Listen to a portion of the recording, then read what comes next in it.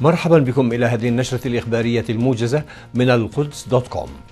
المراقب الدائم لفلسطين لدى الأمم المتحدة رياض منصور يقول عشية تصويت الجمعية العامة الخميس على ترقية مكانة فلسطين في المنظمة الدولية من كيان إلى دولة بصفة مراقب إن الفلسطينيين لن يتسرعوا في الانضمام للمحكمة الجنائية الدولية إذا قبلت ترقية وضعهم. لكنه قال إن السعي إلى مقاضاة إسرائيل لدى المحكمة سيظل خيارا. ويبدو أن الفلسطينيين على يقين من نيل موافقة الجمعية العامة للأمم المتحدة التي تضم 193 عضوا للحصول على ترقية وضعهم.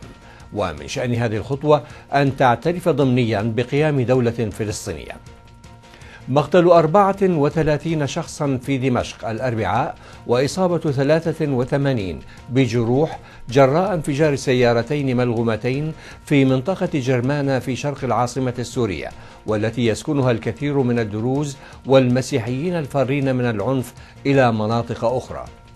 ووصفت وكالة أنباء السورية الرسمية سانا الانفجارين بأنهما إرهابيان وهي الصفة التي تطلقها عادة على مقاتلي المعارضة الساعين للإطاحة بالرئيس بشار الأسد. الشرطة المصرية تطلق غازات مسيلة للدموع الأربعاء على متظاهرين مناهضين للرئيس محمد مرسي في ميدان التحرير في القاهرة. وعضو بارز في المجلس العسكري الأعلى الذي أدار المرحلة الانتقالية في مصر منذ تخلي الرئيس مبارك عن سلطاته حتى تسليم الحكم للرئيس محمد مرسي بعد انتخابه.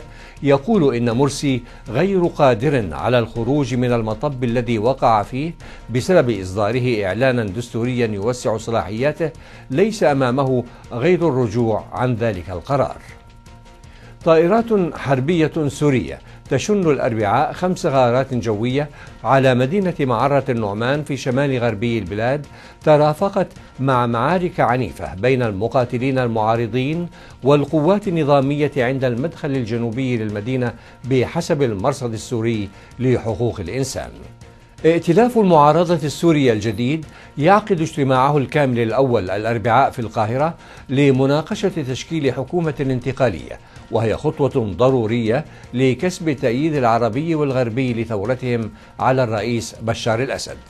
وقد دعت قطر الائتلاف إلى إرسال سفير له إلى الدوحة. ويجتمع الائتلاف المكون من ستين مندوبا قبل مؤتمر لأصدقاء سوريا الذي يضم عشرات من الدول التي تعهدت بتقديم دعم غير عسكري في معظمه للثورة لكنها تشعر بالقلق من ازدياد نفوذ الإسلاميين في صفوف المعارضة. وزير الخارجية الروسي سيرجي لافروف يقول إن بلاده وحلف شمال الأطلسي سيبحثان الأربعاء احتمال نشر صواريخ باتريوت قرب حدود تركيا مع سوريا.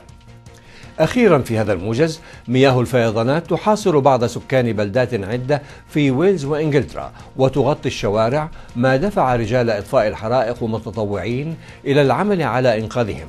وقد دهمت مياه الفيضان حوالي ألف منزل في إنجلترا وويلز حسب ما أعلنته وكالة البيئة البريطانية.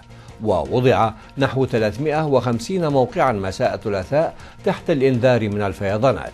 وعانت بريطانيا في السنوات العشر الأخيرة من الأمطار الغزيرة المسببة للفيضانات وكلف أحدها في صيف 2007 شركات التأمين ثلاثة مليارات جنيه. للتفاصيل زوروا موقعنا القدس دوت كوم. طابت أوقاتكم ودمتم بخير. تابعونا على مواقع التواصل الاجتماعي فيسبوك يوتيوب وتويتر.